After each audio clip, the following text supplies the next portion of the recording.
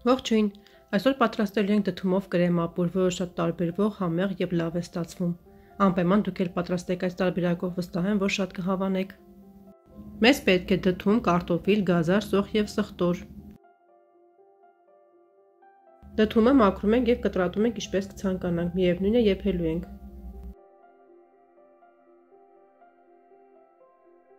Բոլոր բաղադրիչները կտրատում ենք։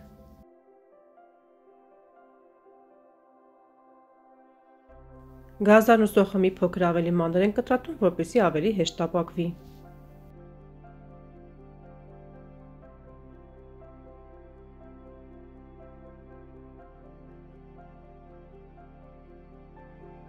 Կացայի մեջ մի փոքր բուսայուղ ենք լցնում եւ տապակում ենք սոխը։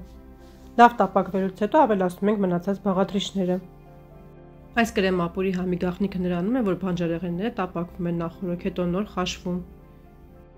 Սոխը, գազարը եւ սխտորը տապակելուց հետո ավելացնում ենք կարտոֆիլն ու դդումը։ Մի փոքր էլի միասին ենք տապակում եւ ավելացնում ենք գերման ջուրը։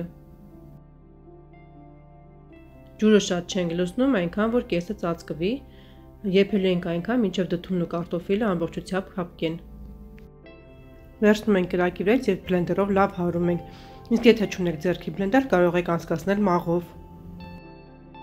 Պետք է ստանանք այսպիսի միասեր զանգված, որից հետո համեմում ենք աղով, սեղպղպեղով,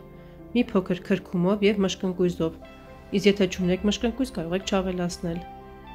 Խառնում ենք եւ նորից տեղափոխում ենք գազօջախի վրա։ Թողնում ենք գերա։ Գերալուց հետո ավելացնում ենք սերուցքը։ Թողնում ենք գերա մոտավորապես 1-ից 2 րոպե եւ արդեն մեր համեղ կրեմապուրը պատրաստ է։ Ես նաև ավելացնում եմ մի փոքր կիտրոնի հյութ։ Դա ըստ ցանկության է կարող եք չավելացնել։ Կրեմ ապուրի վրա լցնում ենք մի փոքր ձիթայուղ եւ չորահաց։ Վայելում ենք չորահացերով։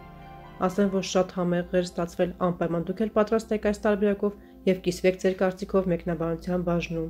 Այսօր էլ այսքանը, առայժմ կհանդիպենք հաջորդ տեսանյութում։